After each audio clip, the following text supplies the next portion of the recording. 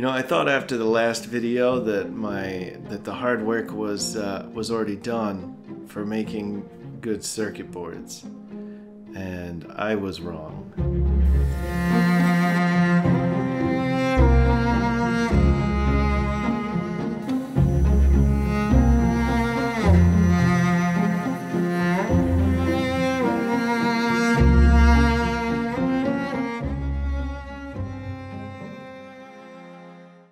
The challenge had only just started. I had had just a taste of success, but would have many, many more failures. To make matters worse, the chip that I was trying to test with the breakout board wasn't giving me anything like what the specifications said I should be getting from it. I just, I could not get this thing to work.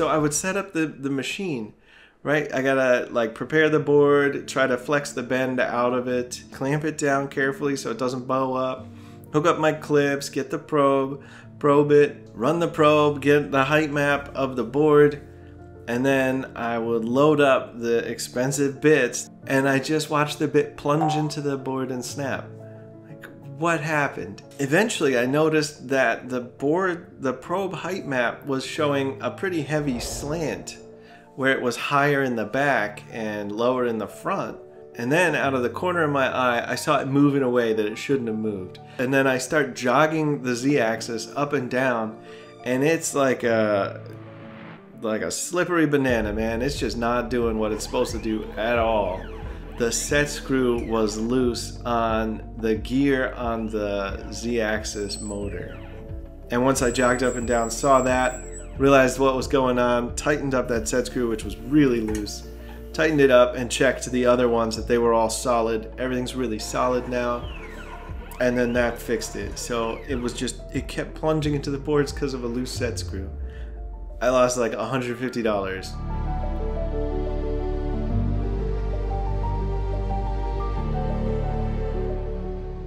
I queue up another one, we dig into it, and I break the bit again. I start recording everything. I've got a camera mounted on the router. I set up a camera on a tripod to watch it. I start using the ultra slow-mo on my phone to record the bit as it's rotating. And I look at it and it looks a little wobbly. I was talking to my buddy Dave the other night and uh, he asked me what the runout was on my router and I was like it's not too bad but I'll have to check. So I have my little digital gauge and I put that up against the bit. I rotate the router by hand and watch the fluctuation and it's about 0.05 millimeters. That's like 25% of the thickness of the bit so I hop on Amazon and pick up for 15 bucks. It's the best collet I could find that would an ER11 collet. I pop it in the router and in my testing, it's now down from like 0.05 millimeters to like 0.03. So I cut the runout in half. And then uh, I read in a couple of places that vibration was an issue. They say like actually physically touch the router and adjust the speed and find those nodes where it has the least amount of vibration. And so I felt the router and I could actively feel that it would like start to really just hum just super smooth at about 90% of max power. And that happened to be almost exactly 10,000 RPM. Uh, I also, when I tried to cut, it was accelerating way too much. I was getting really sloppy lines and then the bit would break. So I had to bring the acceleration on my router way down. So I could go 115 millimeters per minute, but I needed to ramp my way up to that. Also looking from the side at the cuts I was getting in the circuit boards, I could see that they were way deeper than what I wanted, than the 0.035 millimeters I was supposed to be cutting into the board. So now I'm cutting at a depth of zero, I'm running at a feed rate of 115 millimeters per minute, I'm running at a very smooth rotation of 10,000 RPM. I've replaced my collet with a high precision one. Uh, I fixed the loose set screw on the z-axis. With all of that stuff dialed up, I uh, I got good clean cuts. And in the last week, I started the day, opened an empty KiCad project, designed the little circuit that I wanted to make, and less than an hour later, I'm holding it ready to solder in my hand. Three different boards that I made this week. It works so smooth. Oh my god, it is so gratifying.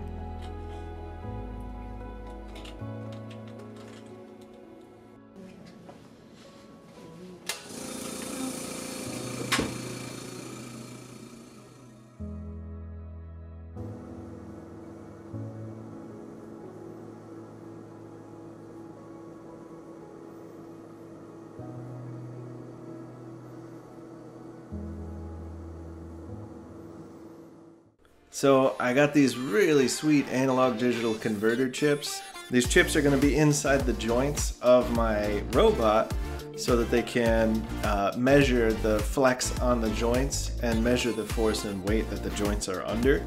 So these chips are super cool, but I kept, uh, I'd touch them with 5 volts, just accidentally have like a transmit where a receive pin should be, I'd like miswire it on the breadboard.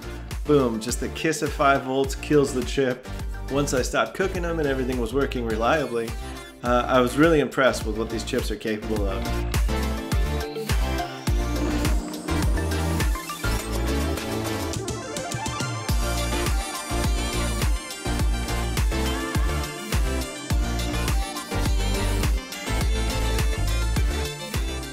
You made it all the way through this video if you're watching this right now, so you're a machine, you're a maniac. Like look at your life choices. Why are you here watching this? That's crazy.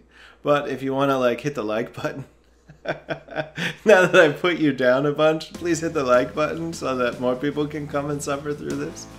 Uh, yeah, man. Thanks for thanks for sticking around. I'm Josh Whitman with Whitman Technological. I love science, and I hope you do too.